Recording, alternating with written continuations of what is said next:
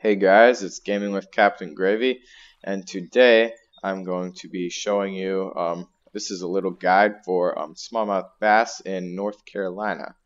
So, where are we right now? We are at the, um, the Woody Enchantment, I'm pretty sure.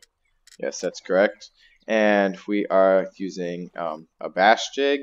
That, that's just my personal preference. Always check your times table for peak fishing hours and uh, that and like I said, this bass jig is my personal preference. You can really use anything that's on the recommended uh, list for these guys. And right now we are going to be using the lift and drop retrieve to see um, if we can pull some in so I can show you guys that this spot works.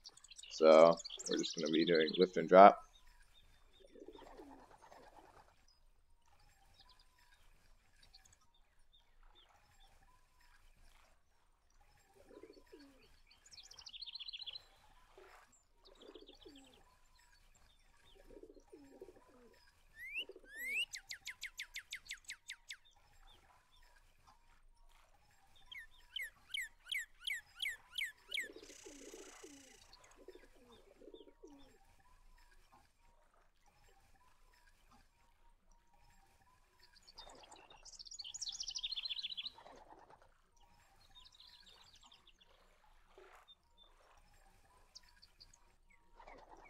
There we go, guys. Got our first fish. Turn up the drag here a bit. Bring this guy in.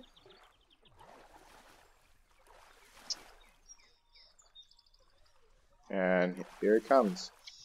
Smallmouth bass flying in. Here we go. 2.651 pounds, $288. Now keep in mind this is my um this is my premium account. So this um, you might get $200 probably on your standard account, and you might get like half the experience or something like that. But still, these guys are a great way to earn your cash, and they're just it's that simple. I mean, just come down here. Well, go to um the map here for a second. Yep, I'm at Woody Enchantment, and I'm at the peak fishing hours. Always check your graphs at the peak fishing fishing hours, and can really use any of your favorite lures, casting spoons, bass jigs, spinnerbaits, worms, crayfish, and crankbaits. I've caught them on all of those, and crankbaits I think work pretty good also. The casting spoons work. You're going to get a little bit smaller ones if you are not using the heavier stuff. And the bass jigs work pretty well, as I said, using the lift and drop method. I've not tried spinnerbaits um, yet, I've tried the crayfish and worms. I couldn't get them to actually bite down on it. I was probably using the wrong hook size. But um, let's catch us another smallmouth bass. And just doing the same thing, casting straight out here towards that rock, just right beside it. And then using the lift and drop method. Lift and drop works really well with these bass jigs.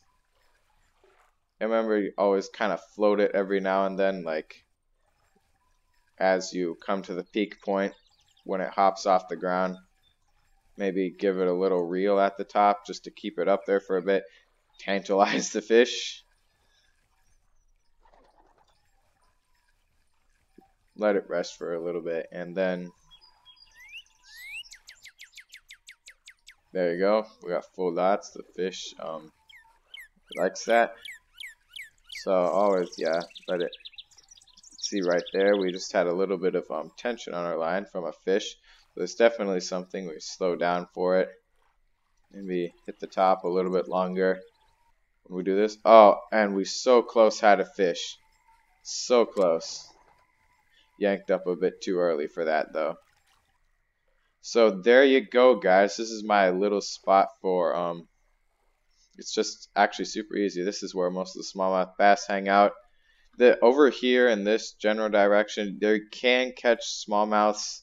Um, uh, largemouths hang out over here by this like little area, this right along the shore and stuff.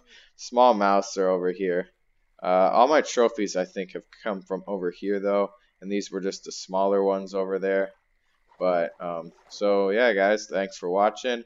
Um, hit the like button if you liked it. Uh, if you didn't like it, that's fair enough. Tell me what you didn't like about it. Tell me what I could do better next time.